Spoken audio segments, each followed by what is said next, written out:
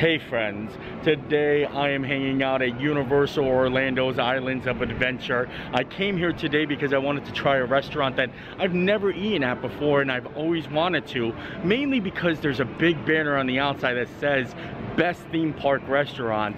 So I thought today was a perfect day. And plus we're gonna ride some rides and have some fun. I'm so excited. Let's go do this. The restaurant that I'm talking about is Mythos, and this place has some amazing theming. They have an outdoor dining area. We're actually standing in the back of the restaurant. When we go out front, we're gonna be able to give you a little bit more of a look, and plus we'll show you that banner that says Best Theme Park Restaurant. The reason I wanted to actually start in the back of the restaurant is because you get a beautiful view and all the coasters and all the themed lands from the backside. And I just wanted to, you know, take a quick peek see because this is amazing. I love Universal Studios.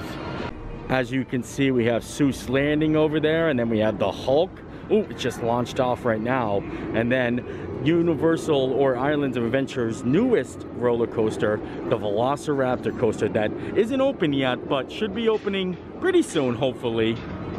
I don't normally dine at sit-down restaurants at Universal Studios or Islands of Adventure, so this is going to be a learning experience for me. In fact, I didn't know how to make a reservation or even if I needed a reservation, but I did a little research and you can go on the website and make a reservation or you can just go up to the restaurant in person and actually make a reservation. So that's what I did. I just walked up and I said party of one and they said we got a five o'clock slot and I said put me in. So that gives us a couple minutes to actually maybe ride some rides and just explore. But once we get done eating, we'll still hang out in Islands of Adventure for a little bit. I do want to show you all these amazing fishes down here. Look at this. And you hear like that creepy noise? It's coming from the caves of Mythos. There's a lot of theming going on. Oh, look at that big turtle swimming up now too this has always been a restaurant I wanted to try for such a long time. So I'm so I'm so happy that I just decided to just come out and do it and just explore. Look at all the theming that goes into the outside of this restaurant. You can't deny that it's really, really well themed, especially like outside. We haven't gone inside yet. Oh, hello there, friend. And since Seuss Landing is right next to the restaurant, maybe we'll go over there and ride a ride while we wait for our reservation time. But I wanted to just show you the theme park, like the best world's best theme park restaurant sign so you can just see it for yourself. I'm sure a lot of people have seen it and questioned it, and I've always questioned it. Right above the entrance there, awarded world's best theme park restaurant by the Theme Park Insider as we make our way in Seuss Landing, I wanted to come over and ride the Seuss trolley train ride right there. Recently, Dr. Seuss has been in the news and rumors are that they're actually recalling and canceling a lot of their books. And this is one of the funnest rides at Universal Studios, I feel like. It's kind of comparable to the People Mover, I would say, because all it does is just go round and round. But it is a train ride. It's a train ride high in the sky. I'm luckily enough to be able to use my express pass with my annual pass and we're going to be able to get a bird's eye view of all of Seuss Landing. I'm so excited. This is such a fun ride. I really think you guys are going to enjoy it. Berries on top. As you can see, here in the heart of Seuss Landing is a carousel that's truly outstanding. Blowing breeze. Fish, two fish, red fish, blue fish. From there to here, from here to there. Look out below! It's that new McGrew Zoo. Oh, what this zoo must be worth! It's the most wonderful zoo on the face of the earth. Say, I like green eggs and ham. I do. I like them, Sam I am. And I will eat them here and there. Say, I will eat them anywhere. A fish made of strawberry jelly. Look at that! Say, that makes a story that on Mulberry Street. We're going in.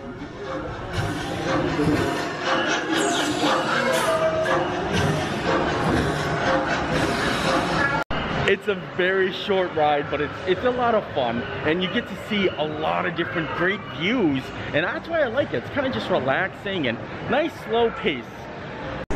And as we walk out, we actually cut through a bakery full of delicious little snacks. A Cat in the Hat cookie, a Grinch book cover. That looks delicious. And tons of other amazing like bakery items. This is some good stuff. Look at all these cupcakes. Wow, a birthday cake mini whoopie pie. They have tons of little whoopie pies. A brookie, a thing one, and a thing two. Oh, wow. We're going to eat though, so we can't be doing this.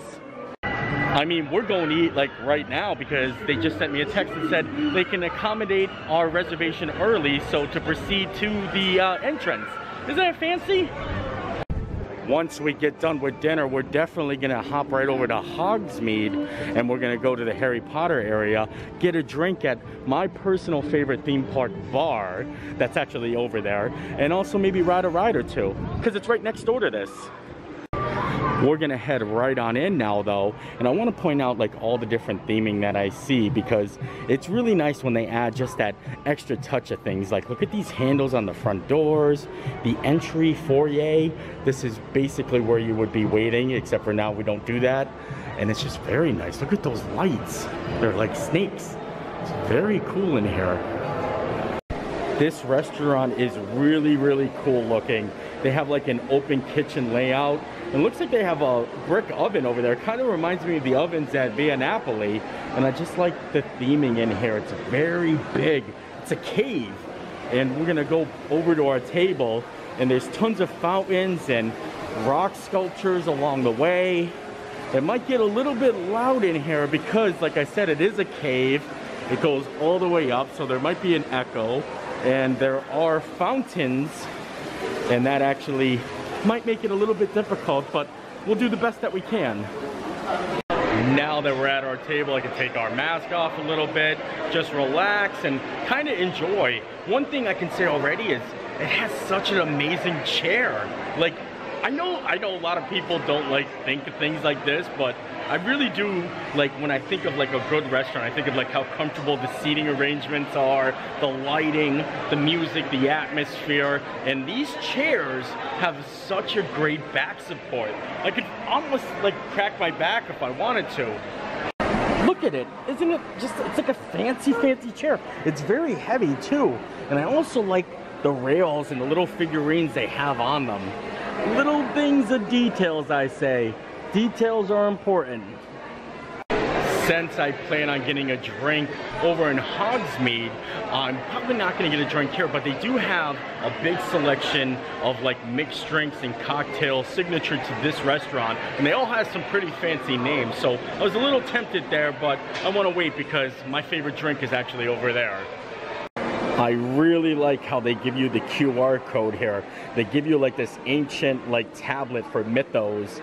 This is really nifty. And I like this better than just like having something sit on like the table.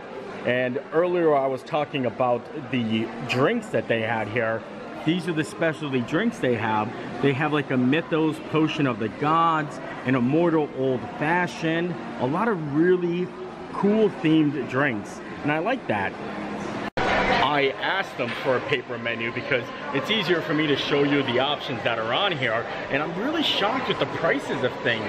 This is like a, a really good deal so far. I was expecting to spend like $50 for an entree, but the most expensive thing is only $28 here, and that's a braised lamb shank. I asked my waitress what the most popular things were, and she said the 12 in bone in chop is $23 was popular. The beef loins were popular. So I decided to get the beef loins.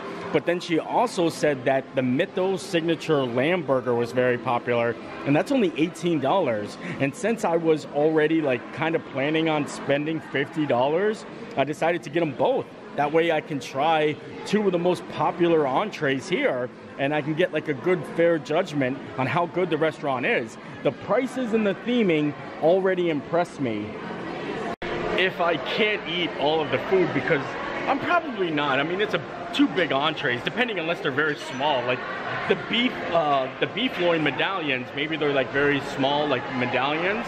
So if I can't eat it all, I will definitely take a box and maybe eat it for lunch tomorrow. But while I'm here, I might as well just kind of explore and enjoy. Oh, fancy. Oh, I like it. Who's that for? I'm only kidding, it's for me. Okay.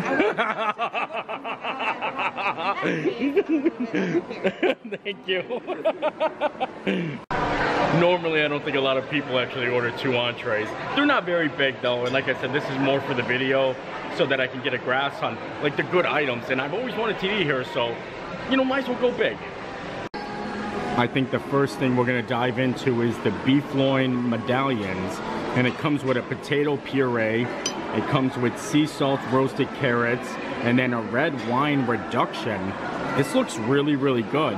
And it's cooked right to the perfect temperature. I think I'm just gonna cut one open, get a little bit of a taste with just the red wine reduction. And then I'm gonna add a little potato and carrot to it. But that looks, oh yeah, that looks perfect. When it comes to like steaks and potatoes and stuff like that, I normally not a big fan of like red wine reduction, but this one might be pretty good. I got a good whiff of it and I was like, that smells pretty interesting. So I'm gonna just try the steak with the reduction.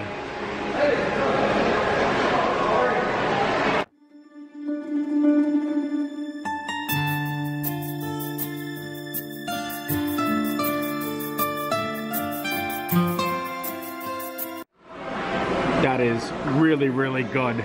Oh yeah, I actually like the reduction and I did grab a little bit of the potato puree here and that is amazing.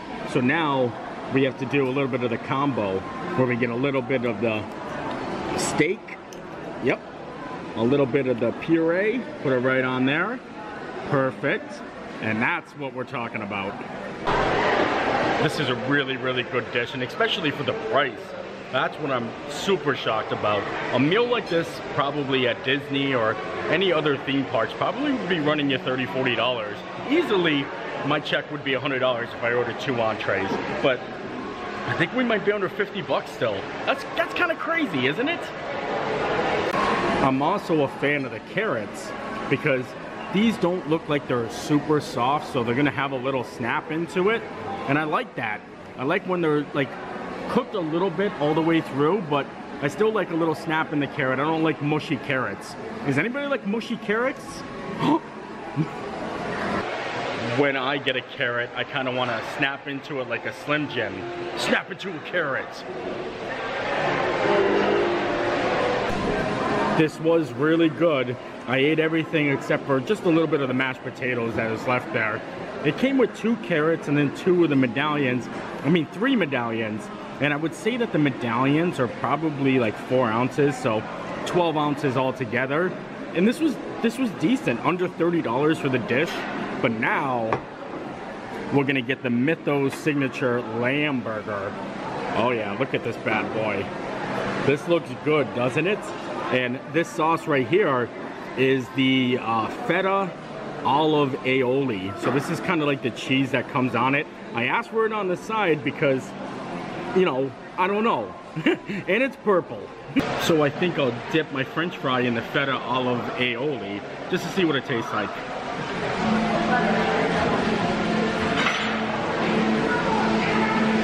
Mm.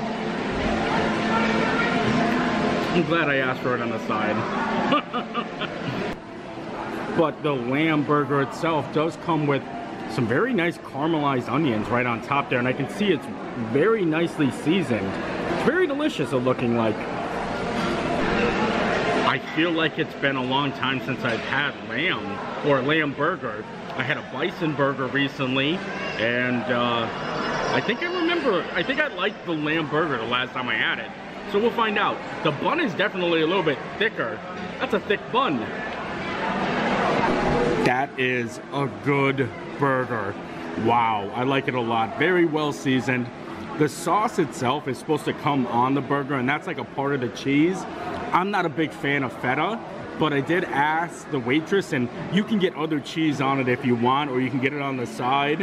And uh, yeah, I'm just not a big fan of feta, but if you do like feta, then this probably goes so well together. I can't really tell you which one I like more only because like it's it's a hard it's a hard deciding factor because I feel like when you're paying just like 10 bucks more actually I think it's only nine bucks more. You're paying nine dollars more than the burger and you can get, you know what I mean, the uh, beef loin uh, medallions, and that comes with the potato puree and the carrots and the reduction, and I think that's a good deal. So if you're looking for more of a like upscale like entree, I think that's totally worth it. But when it comes to like size and quantity, the burger is definitely, definitely worth it. You know what I mean? Like I ate the medallions pretty quickly. It wasn't filling at all. So like I'm probably gonna finish all of this. And if you do eat a lot of food or like you like to be full, then uh, the burger's probably the way to go. You know what I mean? I ate those medallions pretty quick, but this one is, it's a, it's a big burger. Like you've seen the bun, you've seen the burger, it's, it's like this. So that's just a good thing to think about. But I think they're both very, very delicious. I mean, honestly, they're, it's a really good food. It's good food here, actually. Now I'm all finished. I ate just about all of my food. I mean, there's a couple fries left and the mashed potatoes I couldn't finish, but it was very delicious and I'm gonna wait for my check. I wanna see how much everything cost and then I will give you all my thoughts and opinions like outside when we leave actually. It was only $38 with my annual pass discount. $38 for two entrees at the self-proclaimed best theme park restaurant. I think that's pretty fancy. I don't know if I can go out this way. Oh, I can. Oh, look at that. So this is the outdoor dining area. This is where we started our video off. Like down there is where I was uh, kind of doing the intro. Oh, this is very nice out here. I wouldn't mind actually, you know, here. I got the fancy chairs too. Now that we're all finished up, I think the big question is, do I think this is the best theme park restaurant? I would have to say no. I mean, it was a great restaurant, don't get me wrong. The prices were phenomenal. The theming was amazing. There was a lot of great things about it. There's nothing wrong with this restaurant. In fact, it might be the best Universal Studios restaurant because, I mean, not including City Walk. All the restaurants and sit-down restaurants that are in the parks, I've only been to two of them, and this one is the best one so far. I think I might try all the other restaurants, like on City Walk too. But I don't think this is the best. I mean, the price, like I said, perfect and the theming. It was a really good restaurant. If you are here i would definitely want to eat here. And i plan on eating here again because i want to try some of those unique uh, cocktails. They looked fantastic. And speaking of cocktails i think i need to go over to hogsmeade and uh, get my drink. Let me know in the comments though what you think if you've eaten here before or what your opinions are from just this video alone. I mean, this is, like I said, a good restaurant and so much theming. Earlier I seen the Velociraptor coaster testing there. I don't know if it's gonna go off again, but it was really, really awesome. I'm excited to ride that when it does open. Look at that drop. It is definitely getting a little chilly out though. I'm actually cold. I think I need to get a jacket or a hoodie or something. The short sleeves isn't working right now. And it's kind of strange because it's March. Time to head into Hogsmeade and it's looking very crowded here today. The line for Hagrid's is going all the way back to the restaurant actually. It's definitely worth it because it's one of my favorite rides in all of Orlando and theme parks. But where I want to go is into, like I said, my favorite little bar or my favorite little theme park bar since it's actually a very busy day, I'm gonna show you one of my favorite places to duck out and actually get away from the crowds. A little, like a little nook and cranny in the corner that I like to go to, to like kind of just like calm down and, you know, just get composure because it can get very like frustrating or stressful, especially with a lot of big crowds. And inside Hogsmeade alone, it is very tight quarters even during the pandemic as you can see. But we're gonna get in line right here because this is Hogshead and this is where I'm gonna actually be getting my drink. I don't know where the line begins though. I think they're just casting spells. I don't know if they're here to get drinks or maybe this is just a line they were just casting spells. They're not aligned. So I'm gonna get my drink and we'll take it to go and I'll show you my secret little spot over there. Maybe get another ride in. This sounds like a great time. We're gonna be getting a Deathly Hallows drink here. Now, this is one of my favorite drinks because of two reasons. Number one, I love Harry Potter. Number two, it's the only tattoo that I actually have. Is the Deathly Hallow. So it always it goes hand in hand for me. Every time I'm here, I gotta get it. I absolutely love it. And here it is, my favorite drink, the Deathly Hallows. A little bit of mixture of Hogshead, Strongbow, and then Guinness. And now I'm gonna show you guys my little spot that I like to go to, and it's right back here, right next to Honeydukes. And you get a little alley all to yourself. Can you hear the china in there? Isn't this so nice and relaxing? You can just sit back here, drink your beer, and just kind of enjoy the peace and quiet. No hustle and bustle, just the way I like it. Really nice and relaxed. Sometimes a uh, team member might walk back here, but I mean, unless you know, you don't know. People don't come back here. It's so nice though. Look at it. We're just walking around and enjoying like a little piece of Harry Potter all to ourselves on a very busy weekend day. It is seriously like the perfect nook and cranny though, honestly. and I just love this drink. Oh, it's so good. Like you get the Guinness first and you know Guinness is Guinness and then you get the Hogshead which is a nice, nice beer and then a nice sweet touch with the Strongbow at the end. So good, much too good for children. And that put me in just the right mood. So now we're gonna move along and we're gonna try to ride another ride, hopefully before it gets a little dark out and the park closes in an hour. But first, have you seen this wizard? Universal doesn't allow you to film on mostly all the rides, but some of the rides actually, they don't like say it. So like I just take that as I can film on it, but it's very few, like maybe two of them. So the only other ride I can really film and show you happens to be a favorite of mine, and it's Flight of the Hippogriff. And it's just a fun little coaster. It's kind of like uh, Goofy at Magic Kingdom. Just really nice. It's a little tiny coaster, mostly for kids.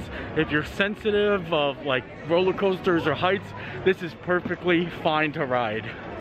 But could we just appreciate how beautiful Hogwarts is right now? Like it's the perfect sunset like time. The colors are just looking amazing. This place is truly magical, I can say. Here is a little like Hagrid scarecrow and he's got pumpkins all around. This is such a fun little ride. Oh, here it comes. Look at her go!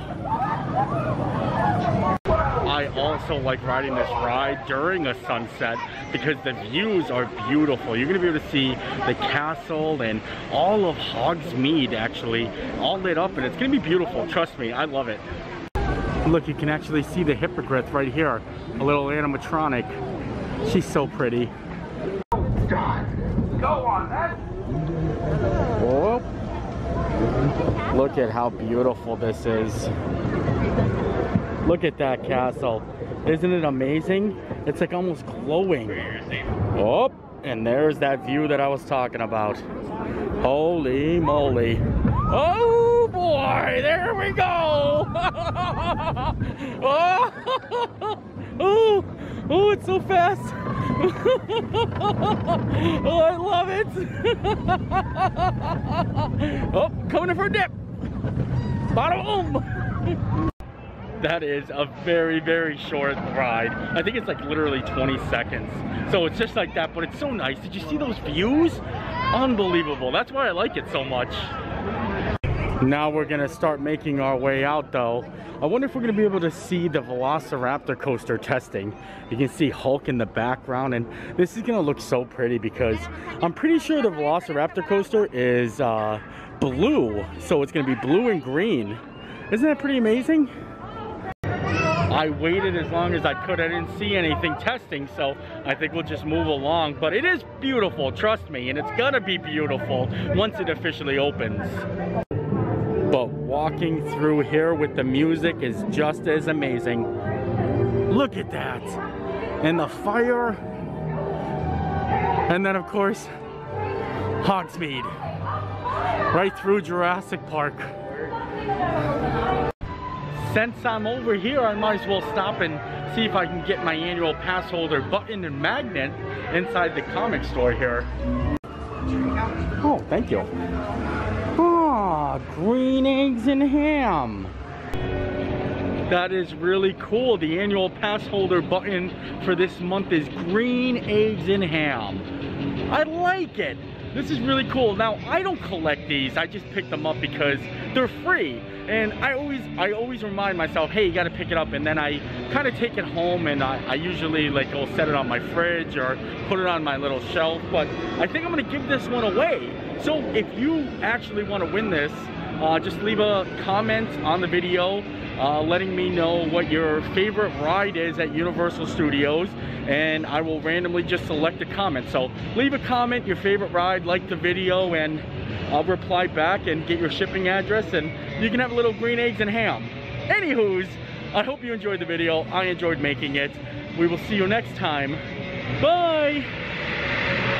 And no, Wanda, this is chaos magic. You are the Scarlet Witch.